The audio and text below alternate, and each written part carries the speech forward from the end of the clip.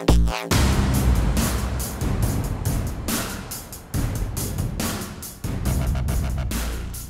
your boy Jarrell Big Baby Miller here, born and Brooklyn, raised in Belize. I got into martial arts in my early teens after I got into a fight and I got jumped by like 20, 30 something people, man. And just started doing Muay Thai around 14, got into boxing when I was 16. I actually turned pro as a kickboxer when I was 19. The reason what made me make the move back to kickboxing, I felt like the door wasn't quite closed on my kickboxing career. So when they put the right bait in front of the shark like me, Cro Cop behind about to get crunched.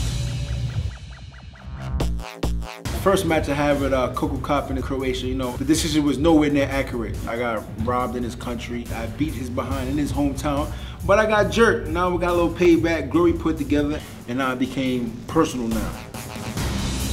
Cro Cop is a legend in the, in the sport of uh, MMA. By the end of the day, you sign that contract, I'm gonna kick your butt. So it is what it is. All the respect will go out the window once that bell ring.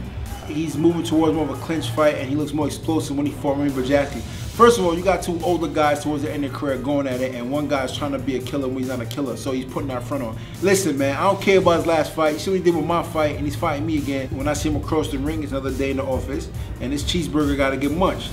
He's old. He's an antique, he's a relic, he's a dinosaur. So that means we're gonna see everything coming. He has one kick to the head, one little raggedy straight left hand. He got a dirty knee and a vicious headbutt. That's his whole entire game right there.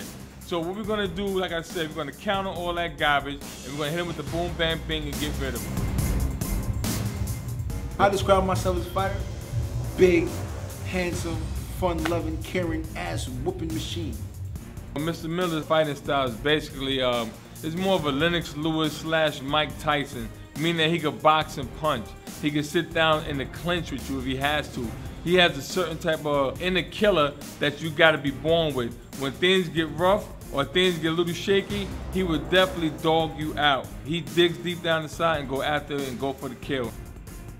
Do I feel pressure for putting on performance for it to be the main event fight on Spike TV Live?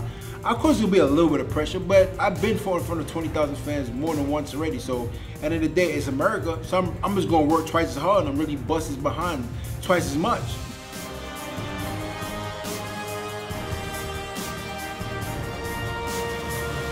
June 21st to the Spike TV Live main event, your boy Big Baby Miller versus Coco Cop. If you don't know about kickboxing, tune in now, Glory 17.